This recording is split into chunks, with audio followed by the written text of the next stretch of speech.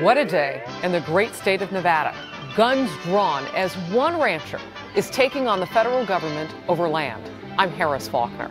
I'm telling you, I'm going to run them no good hoppers out of these in the Danny mountains.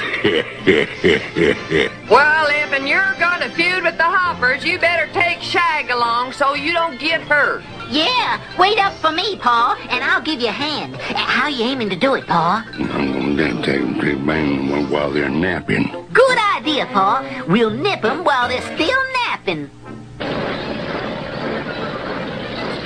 Okay, men? This is the place. We'll be seeing the Hopper's cabin any time now, Paul. Yeah, well, I'm going to tell you, I'll tell you who stay here. Now I'm going to go in there and I'm going to take a look. Right, Paul. I'll stay here while you do a little scouting. Yeah, well, I'm going to sneak up and blast them. I gotta hand it to you, Paul. That's pretty sneaky snaking you're doing. All right, bazookas, fire! Keep an eye on that rock. Let her go, Joe. And then I'm to find in them brass and tell them I'm mortifying.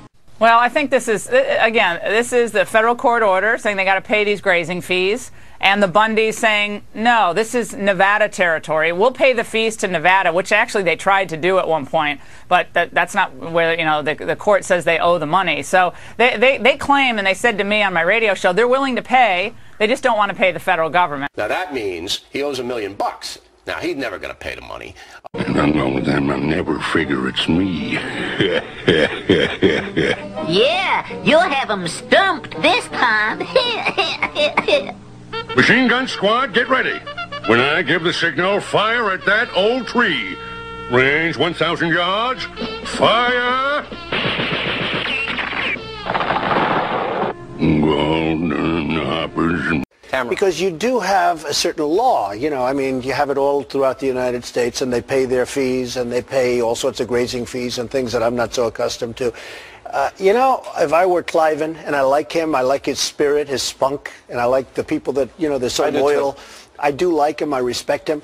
He ought to go and cut a good deal right now. That's the best thing that could happen for everybody. Come on, come on. Get those flamethrowers up here. Flamethrower coming up, General. You're right, Paul. The hoppers won't be expecting no bush to sneak up on them.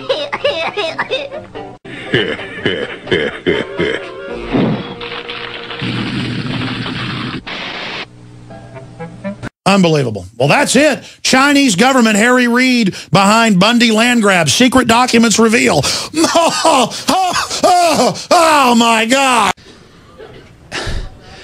What absolutely audacious behavior was it that made them pull the muskets off their mantles and take on the strength of the most well equipped, well trained, and well financed army in the world of its time and decide that a bunch of merchants and politicians, preachers, and farmers could take on that army with their muskets that were better designed for hunting varmints than it was for challenging King George's incredible force. I'm not here to jump in on the middle of whether, uh, you know, Cliven Bundy ought to pay the state or pay anybody for the chance for his cows to eat some grass. You know what I'm going to do now? I'm going to do the old Indian trick. I can learn a lot from my pa. Who'd ever think of sneaking through a cornfield engine style? Bring on the armored division. Take a shortcut through that cornfield.